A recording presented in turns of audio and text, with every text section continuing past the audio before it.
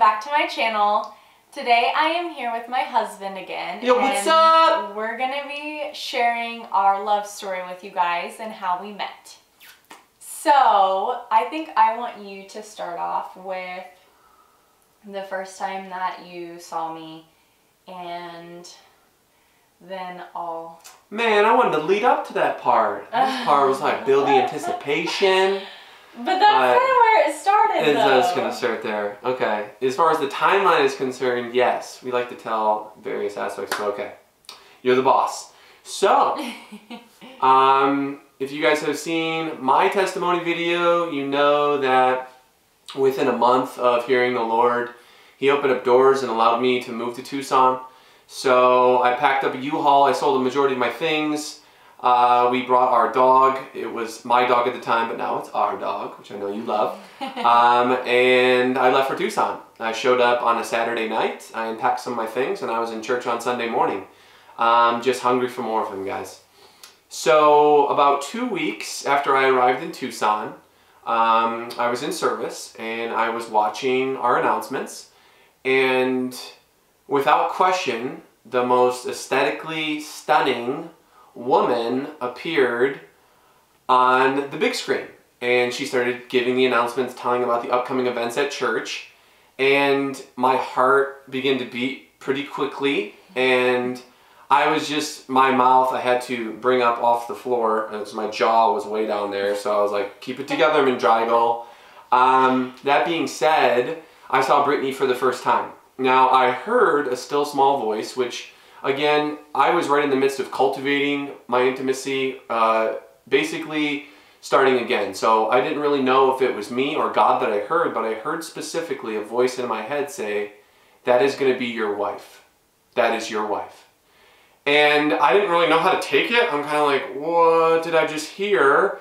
So I went home after church and I told my mom what I heard and my mom being a great mother, you know, founded in her faith, very grounded in her faith, um, was like, okay, that's that's great, that's wonderful. Um, you might need to calm, just just calm down a little bit. I would continue to press into that, pray into that, and I was like, no, I know what I heard, mom. I definitely heard from God, and that's gonna be my wife. And I was. And so I did what every other normal person would do once you hear from God and you're absolutely confident. Again, I'm a new at that time to all of this. So I rush over to one of our pastors who I was working with um, at our satellite campus and I kind of inquire about Brittani. And but I don't inquire about her probably for two or three weeks after she was on announcements. By the way, within that time frame, when I saw her that day on announcements, she was never on announcements again. I had never seen her in church. I had never seen her aside from that one time, and I never saw her again for about four or five months after that. But so I inquired about her, and I said, "Do you remember that girl that was on announcements like two or three weeks ago?" As casually as I possibly could, of course, not wanting you know to reveal what had been revealed to me in my own opinion. Um, and so I kind of inquired, and he was trying to go through his mind out of all the people, and da da da da. And I was describing her, you know, magnificent green eyes and darker hair, and and then he finally clicked, and he's like, "Oh yeah, yeah, yeah. Her name is Brittani. Yeah, bro. Unfortunately, she's pretty taken." And I was like, "Really?" And he was like, "Yeah, dude. I'm so sorry." And I'm like, "Oh no, it's fine. No, I just I just thought that she was, you know." incredibly attractive, looked like someone, you know, that maybe was available. I'm not, and so, you know, I kind of meandered my way out of that conversation. And I remember thinking, I'm like, shoot, I guess that wasn't God. That was just, you know, that was just me, you know, saying like, oh, like, that could be your wife. And to be honest, guys, that, now all of that during this time period, if you guys recall, I, um, the Lord was really asking me to press into Him and to seek Him with the passion and the fervor and the time and effort that I had put into being a part of this world. He wanted to put me to take all of that and put that into our relationship, really cultivate that intimacy back with Him, that relationship back with our Heavenly Father. So I put what I heard on the shelf and I continue to be obedient and walk forward with that intimacy and that relationship and being called to singleness for that period. I am so incredibly thankful that I did. And Britt, I think you can kind of interject at this point. Yeah. So when Dave moved to Tucson, I didn't really see him much and I didn't really know him. Um, I don't know how long after you moved here that I actually saw him at church, but eventually I did know of him and had seen him around, but I didn't really know him personally. And we never had an introduction until how long um, had you lived here before we uh, like had finally been introduced? Or It would be a year, a year and four months, y'all. A year and four months since I moved, I heard that voice. so That was our first official conversation. so It wasn't really even a conversation, yeah, was it was like fun. oh, so yeah. I, um, like Dave said, the pastor he had asked said that I was taken.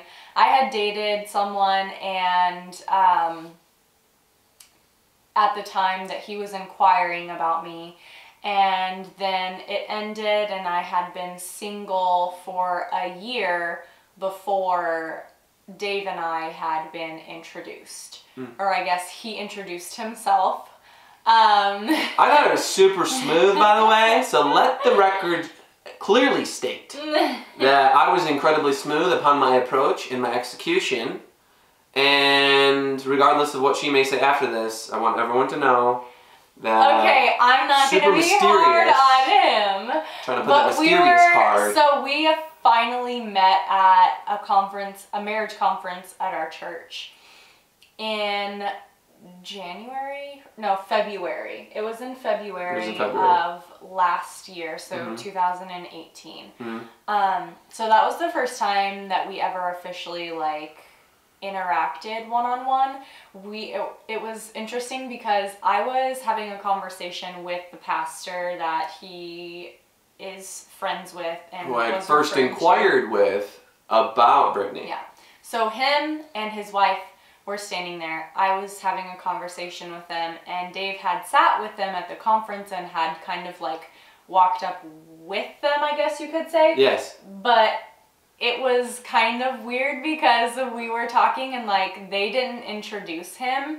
And so like we had this like maybe five to ten minute conversation with Dave just standing there. and I can't and it's not his fault because they didn't introduce him. I guess he could have introduced himself in the middle of the I- conversation. In the middle, but you but he waited politely with and- decorum and propriety to consider, I waited my time. And then he came up to me as I'm like walking away and he shook my hand and he introduced himself. And I'll let you say, what did you say to me? So, before I tell exactly what I said to Britt, I just want to preface by saying, you know, again, guys, the Lord had really called me to a period of singleness. And it was absolutely fundamentally necessary that I remain steadfast and seek out my Father and wait for His timing. Because I think a lot of times we hear from God and we're like, okay, that's His will.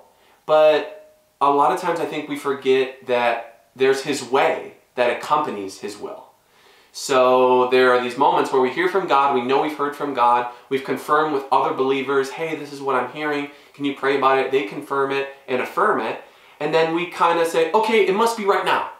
But there I've noticed that his timing is not our timing typically, and he has a very specific reasoning behind us waiting to execute his will, his plan, his way, guys. So I was in this period for about a year and a half where again, there were multiple times when I had an opportunity to go up and to talk to Brittani, but when I would feel the impulse to go, I would hear Holy Spirit literally pull me back and say, It's not time. It's not time. And that must have happened three or four times. Um, randomly, as we were interacting, when I would see her um, on one day, on Wednesday nights, yes, I can hardly speak right now. That's okay.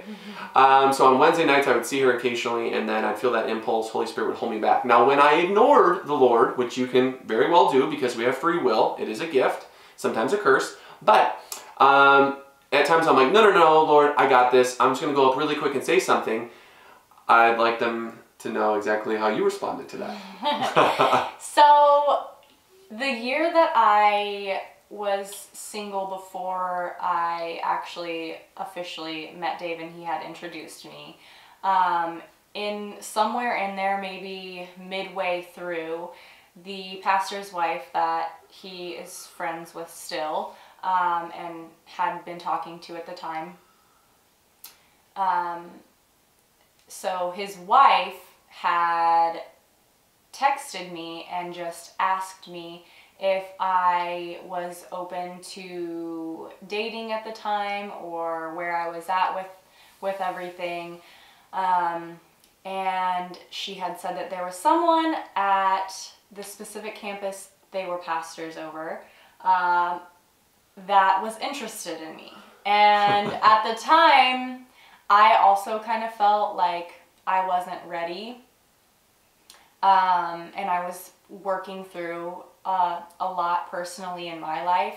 So I just really responded honestly. I didn't even ask who it was because I knew in my heart that if it was of God, that whoever it was would wait for me. And um, that's just like the, that was just the Holy Spirit in my heart and kind of what I decided. So anyway, so I didn't ask her who it was and I just told her that, you know, I'm really working through some stuff right now and so I just kind of left it at that and told her that I really wasn't ready. So over the course of that time, he says that Holy Spirit would stop him from approaching me.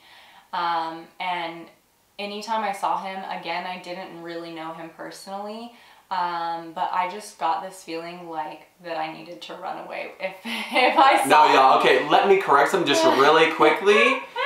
Anytime that she would see me and I'd be ignoring Holy Spirit, I'm like, maybe just a brief interaction, Lord, that's all I'm asking for. I would be on approach and I promise you that we would lock eyes just for a moment and then our eyes would get really big. I and did then, not. And then she my would eyes did not swiftly run the opposite And direction. I, okay, Just okay. like out of here. First of all, running, um, I think that's a little bit exaggerated. Swiftly walking. I was I was very graceful. You always and are. Efficient. Oh, Rapidly would exit the scene. Let's just let's call spade a spade. oh gosh.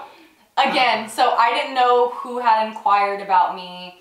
I also had, didn't know him. I just whenever I, I ever if I ever saw him like I don't know like like he said Those butterflies in no her babe let me talk.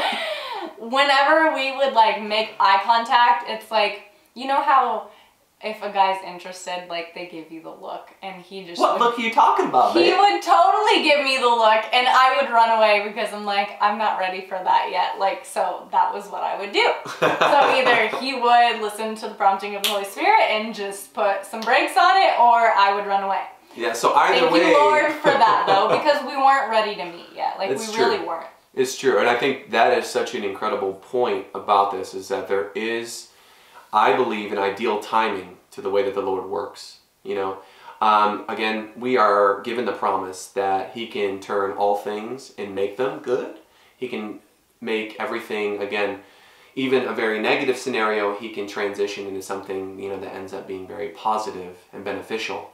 However, you know, I do believe that there is an ideal will of the Lord that if we continue to press in, that even if we've again heard from Him, we say, All right, Lord, what does this look like? How should I enact this? What's the timing here? Because it's really hard. I know that, like, whenever you've been praying about something, it could be a relationship, it could be so many different things. But I feel like it's so easy whenever that opportunity presents itself to just jump on it and then, like, take that timing into your own hands because you can see it and it's within your reach.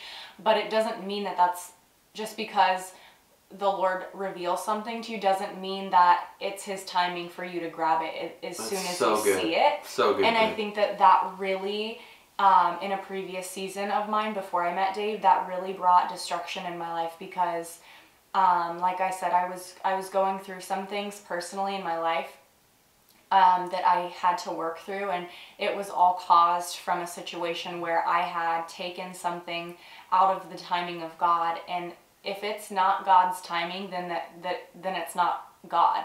So, like that thing that the Lord may have showed you or revealed to you, if it's not His timing, then what you're going to experience is not what God has for you.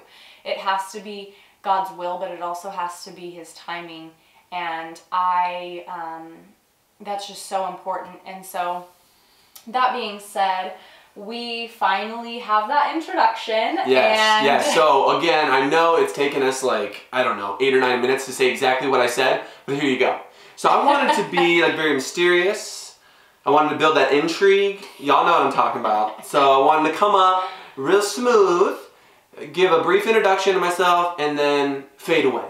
You know. So Which is what he did, but I, you know how you plan something out in your head like 500 times and it doesn't go how you planned still? I thought it went. I thought it was one of the best introductions I've ever had in my entire life. It was smooth. Like, I'll give Come him on. that it was smooth and like he was there and he was gone. But you know when someone, like, if someone introduces themselves, normally they don't just like introduce themselves and then have like a like very short sentence and then peace out. Like normally they'll introduce themselves, maybe Like show talk- interest, maybe. Yeah, like talk to you for a second. Like he literally came up, "Hi, I'm David Mendrygal. I've seen you around. Just wanted to introduce myself." And I'm sure that I'll see you around again. Yeah, and Boom! then boom, he's gone. I'm like, I and then I just sat there. I'm like, what just happened?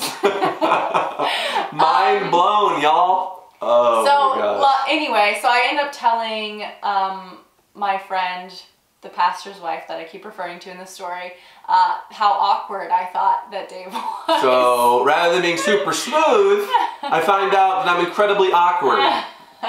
Shocker. And then, but I, it wasn't so bad to the point where I just kind of crossed him out in my mind. Was it cringeworthy? No. So we, Still have a chance. we like would see each other in passing on Sunday at church or whatever. Mhm. And so I talked to him a couple of times. And then, um, maybe like a month later ish. I inquired and I said, okay, like, so interactions have been short and brief, so let's just start very casually texting. If it's awkward via text, the most, in my opinion, the easiest form of communication, it's not happening. So I ended up asking the pastor, who's been, again, integral in us meeting, along with his wife, ended up asking him if they could ask her if it'd be okay if I gave her my number through them. So I ended up doing that, and I sent a text. Was it on a Monday? Yeah. I don't even remember what on- day it was. I'm I just sure a remember. I just remember because it was hard because like we would briefly see each other at sun on Sunday, but we had no way of contacting each other. That was another thing. We both were off of all social media, so it Mhm. wasn't like we could like be like, hey, like he could ask me for my number unless he wanted to wait another week to see me on Sunday, which he Mhm. didn't. So. Um, he inquired and I gave them permission to give him my phone number. And I think it was on a Sunday that that happened because I remember that it was, I remember it was a Sunday because I remember that I didn't see him at service that day and I was sad because I was waiting all week to see see him at service and then I didn't see him and so I was like, oh, that sucked. Um, but then I remember getting the text that he had asked for my number. So anyway, so he gets my number and he waits Yes. a day to text me. So at this point, like I, I had an open mind um, as it relates to David, but I again I didn't really know a lot about him. We had very brief interactions, so it wasn't like I, I was like, oh, I'm gonna start dating this person after only having these brief interactions. Like we texted for um, like a couple of days back and forth and had some phone conversations and Beautiful phone and conversations. we yeah we really connected really well. And so he asked me out to lunch on um, like the on on a Wednesday of that week. Mhm. and so my headspace going into this was okay so I'm getting to know this guy. Like I didn't in my head think of it as a date. I just thought of it as I'm getting to know this person and I'm having lunch with them and um, little did I know that we would go on that, that lunch time and end up having five other dates in that same day, back to back to back. And then by the end of that night, me looking back saying, "Yep, that was that was actually not only one date, that was five dates because we just connected on a level that I've never really experienced before. Like if you would have told me that Dave and I would have met and from the day of our first date get married 4 months later, I would have called you crazy. And I would have also called you crazy if you would have told that to me. Yeah. So this isn't something that I know a lot of people um, can't necessarily relate to because not everyone has that time frame in their courtship and dating and all of that Yeah. typically there are people but you know everyone's different everyone has different experiences so and i definitely hadn't really heard of that before so I would have even said that's crazy. But when you experience it, it's a completely different thing. So, um, And for me, so just to give you guys a little backstory, is that I was working from home, um, invited her out on a Wednesday, um, and that was at 12 o'clock. And I had planned to take her to a park following that lunch if it went really well. Obviously, it was incredible. Um, sparks were flying for me because that day that she's talking about, we went from getting something to eat to going to the park, and then Yeah. we ran over to a movie, and then after the movie, we had some ice cream, and we had these little intervals in between all of this, y'all. So what was supposed to be an hour and a half lunch, then we ended up ending the night as just a beautiful end to it. We went to the park in the community that I was living at, and I had this incredible encounter with God, and I I thought that was the next day, baby. um, it's all just a wonderful dream to me. So, but that was really, I think, that's when I really got the confirmation Yeah. um, that I'd really like to share. Okay. Yeah.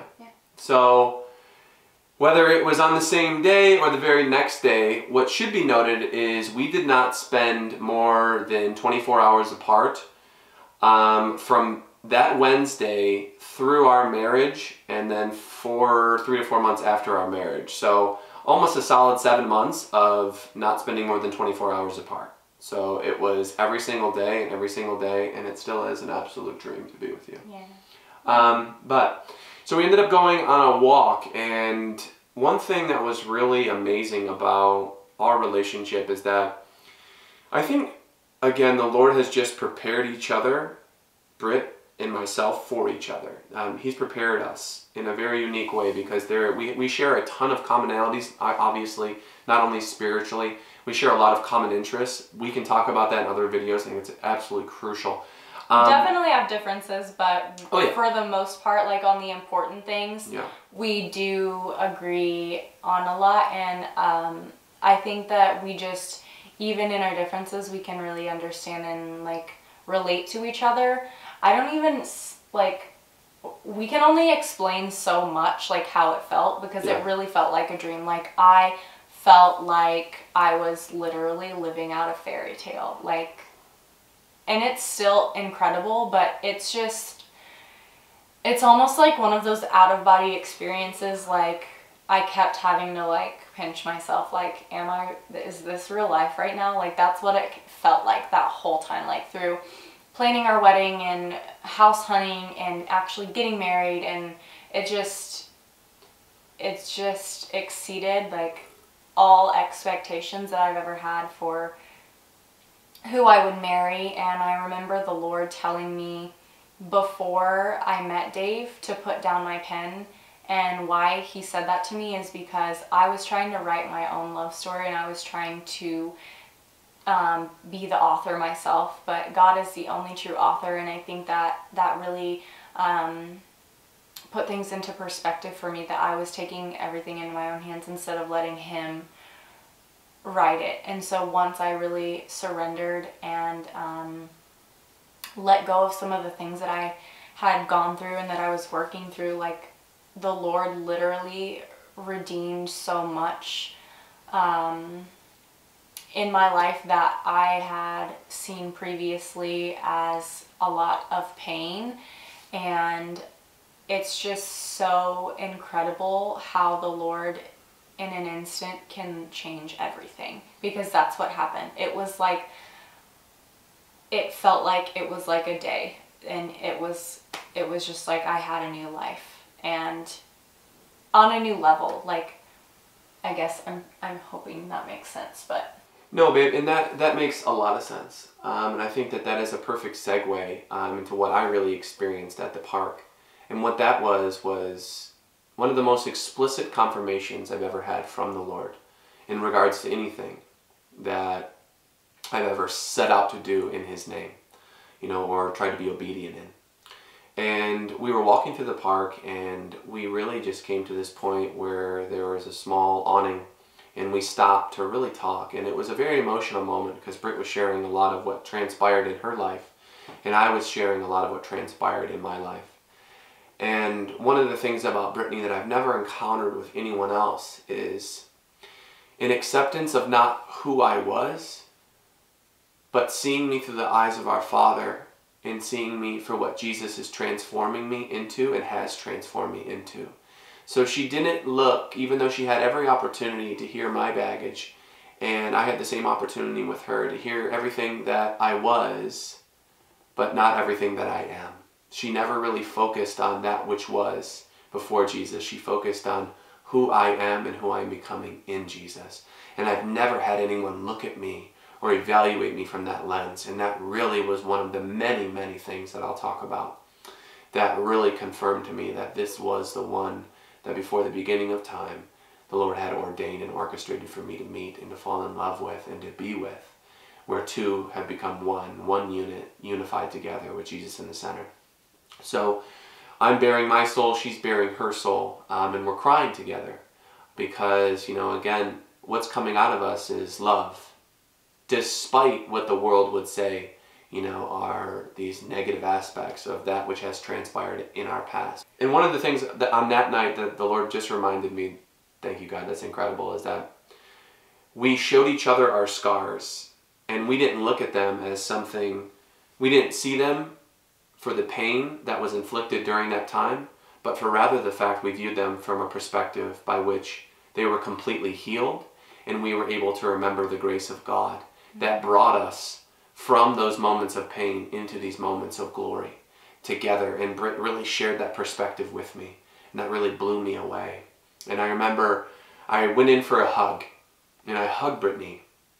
And guys, I don't know how else to describe it aside, aside from I felt ensconced by God. There, this warm sensation completely came around me and us at this one time, and I've never felt the impact of another human's embrace in this way. And I felt like God completely in, enveloped us in His love in that moment, in, in a tangible way. And guys, I felt a hand on my shoulder as I was holding her. And I heard the Lord whisper to me, and He said, Son, this is what happens when you are obedient and you wait on me. I am in the waiting, and this is me, and this is my will. Good things come to those who wait on the Lord. And I waited, y'all, for a long time. And I waited 30 years. Actually, it was 29 years at that time to meet the love of my life. And it was so worth the wait. And to feel that reassurance on my shoulder and to hear it articulated to me it was beyond words, guys. It was beyond words because the Father really affirmed to me that this was of Him and it was a blessing that He had that I only had to persist in with faith. And then once the timing was right, He brought it and manifested it before my very eyes. The Lord is so good. Like I get into these moments where I like don't have words and this is definitely one of them because God is so good and He takes care of us so well, and especially when we actually allow Him to do that instead of taking the reins and uh, and giving Him the reins in our lives, because we do have a free moral will. But when we really put everything that we have in our faith and our trust in Him, He He is so faithful and, and yes. goes above and beyond anything that that I could ever imagine. Like that, our whole short season of dating before we were engaged, before we were married. It was it was a dream and it's still so incredible to see the Lord working in our marriage and it's our marriage is different definitely different than dating and definitely different than being engaged, but I still I still feel like at times I have to pinch myself because I'm like, this is my husband. And this is my wife. what? You, you. um, but I yeah. So from that point on, like, so we had the bunch of first dates on that first day. The second day, we hang out. We hung out after I got off work, and we went to that park, and that happened that night. And then it was like we went on a double date on Friday, and like, or yeah, Mhm. on Friday. Or Saturday. Somewhere around there. Oh, I think it was Saturday because Friday was the day that the first the day that David told me that he loved me. So I know, gas. Like, how on earth can And you I said it possibly back. know that?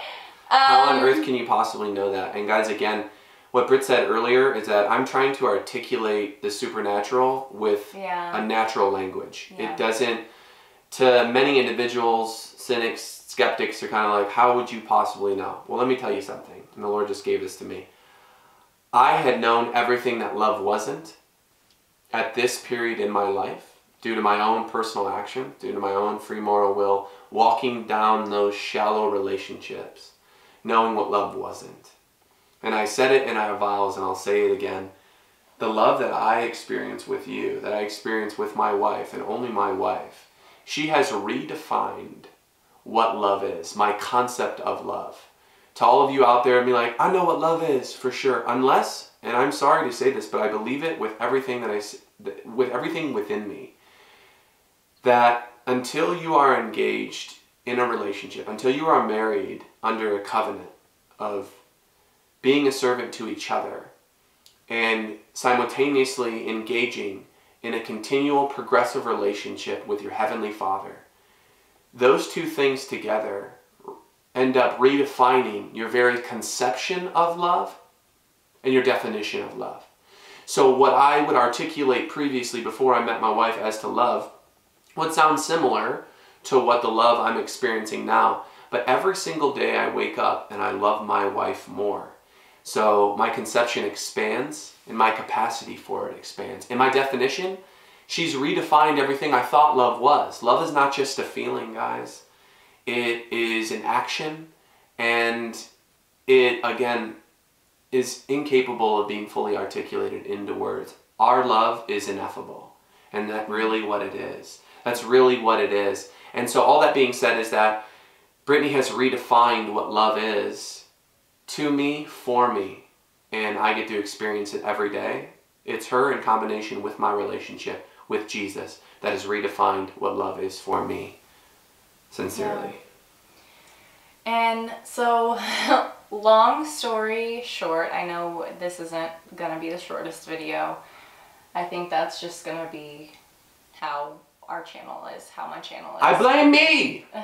Well, I don't always help either. But I guess the point that I, one last point that I want to say is that that whole season, so that whole time, from meeting him on our first date that I didn't know was the date until the end. the first day, I guess you could say. yeah.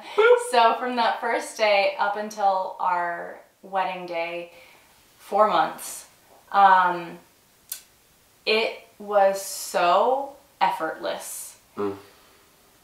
And it felt like we say this very frequently when we're trying to describe what, what it felt like is that we're on a highway of green lights. Yeah. And it was like, even if something like we had a question of okay how we're gonna how are we gonna do this? It was like another door would open another door would open mm-hmm. another door would open.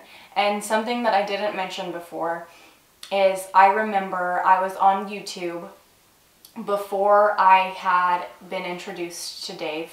So i was sitting in my car on my lunch break and i was watching a wedding video and i remember it ending and i remember the lord telling me to start planning my wedding to which I to which I responded with kind of a chuckle like um Lord, you know I'm single, right? So why on earth would I start planning a wedding right now for myself? Like um and I I'm like, okay, either I'm losing my mind or the Lord's gonna do something crazy. I don't know. So I kind of just left that on the shelf. I'm like, okay.